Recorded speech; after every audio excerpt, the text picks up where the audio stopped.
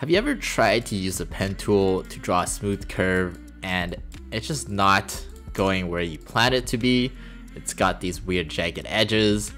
Well, that's where our first tool comes in. It's the smooth tool. So if we go over to the left here, have our line that we want to smooth it out connect, uh, selected, we can activate the smooth tool, which is under the shaper tool here.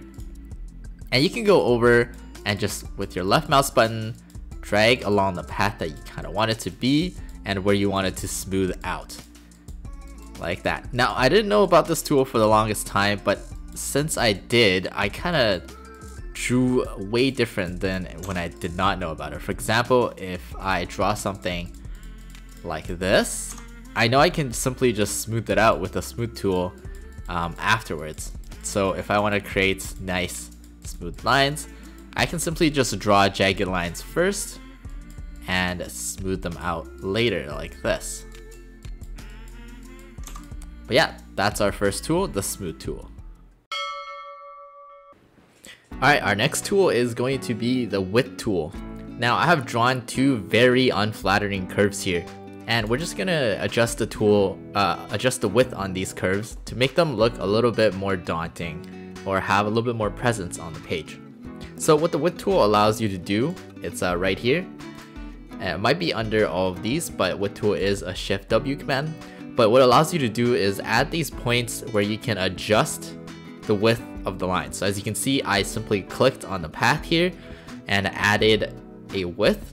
And if I uh, hold my left mouse button, I can adjust the width of uh, that section where I have selected. So if I want all of these to be a little bit wider where it curves like that, similar here, and maybe taper down where it's more flat, like that, I can do that with the width tool.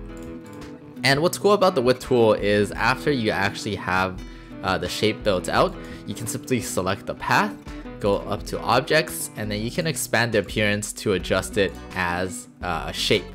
So for example, you can change the color or you can uh, use your direct selection tool and change one of the anchor points like that. Uh, or if you want to add another shape, say I want to taper this off with a circle here, like this, then I can simply make that a little bit more perfect there. Then I can simply just select these two and using the shape builder or pathfinder tool, I can merge these two and that becomes one shape by itself. Now I can go here and kind of also taper this off like that. And as you can see, it's already a lot better looking than what I had, just the original line here. And the shape, or not the shape tool, sorry, the, the width tool also works with uh, enclosed shape. So if I want, again, just this part very thick and then the other part's thinner, I could do that as well. So you can see this heart uh, already looks better than it has when it's just one single stroke. Alright, so the next tool we're going to go over is the Shape Builder tool. It's over to the left here, right underneath the Width tool. And the shortcut for it is Shift M. I actually use this command a lot uh, just because it's really similar to the trim command in other programs such as uh, AutoCAD. So this is also really similar to our Pathfinder tools, but I do find it uh, a lot easier to use.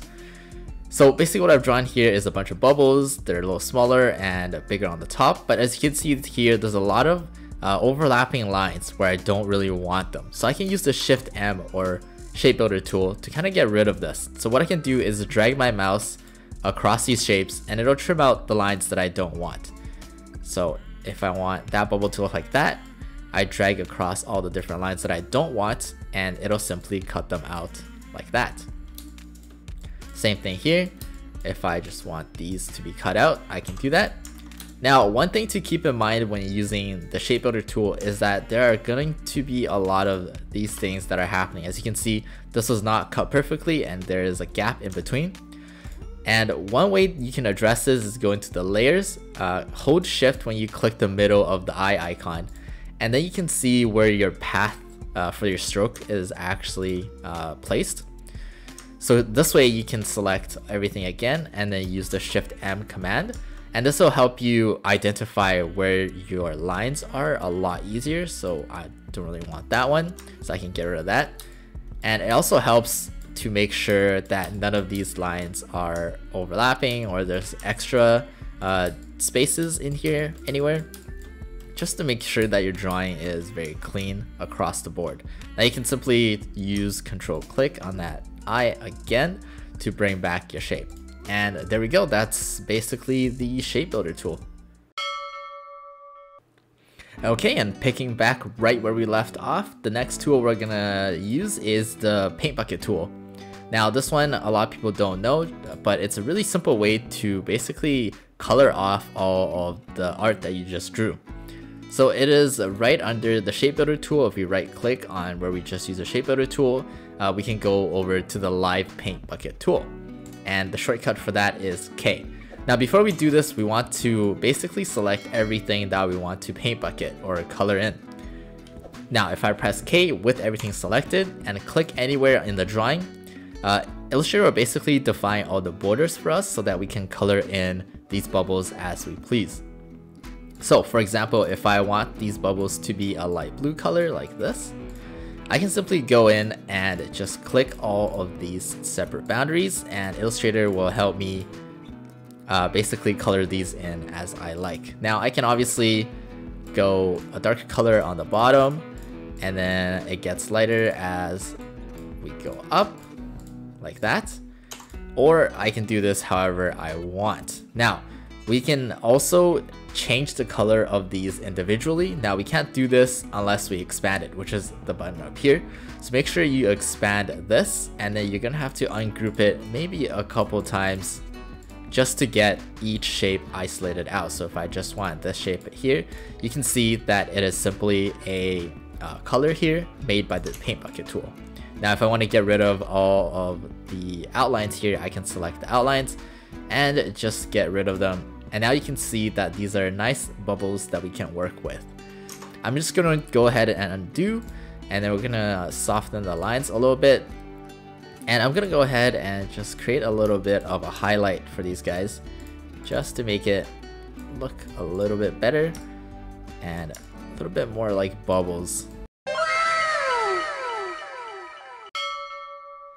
Now you might be wondering why Justin Trudeau is on my screen here, but worry not, it's to demonstrate our last tool, which is the image trace tool. Now, if you import any image into Illustrator and just select the image, you can see there's the image trace option uh, on the top here. And there's many, many different options. But if I just go to the high fidelity photo, what it does is analyze all the colors and it'll basically create a vector drawing from the photo here. So if I zoom in, you can see that his eyes is made up of a patch of colors, uh, so is his nose and his lips. Now we can also go over some of the other settings so if I just undo really quickly, select the image again, uh, we can also make it really simple. So if I only want three colors, you can see the Illustrator analyzes the image and turns this drawing into three different colors. Uh, it can be a quick way to vectorize uh, any photo if you select 6 colors or 16 colors. Uh, but still, if you draw it, it does, does turn out a lot better. But if you want something fast, this can be something that you can do in a couple seconds. Now I'm gonna go ahead and use the black and white logo here. And if we want to manipulate any of the colors in here, we're gonna have to expand the image and also ungroup. And if I want to change the black color here to something more of a gray color, then I can select one part of the black and then go over here to select similar objects. It'll select all the black in this image and then I can simply change the color to whatever I like here.